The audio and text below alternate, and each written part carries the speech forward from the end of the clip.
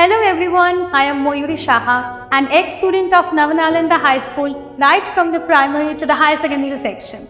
My school is not only a wonderful platform for the academics, but also a very, very good platform for the extracurricular activities in all the fields.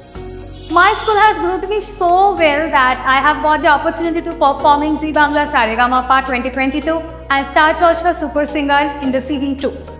So this school, Nava Nalanda High School, is now opening a new chapter, Nava Nalanda Public School, under the curriculum CBSE.